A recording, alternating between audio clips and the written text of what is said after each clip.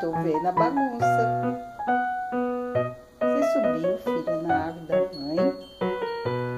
É. Subiu, princesa. Você tá muito levadinho.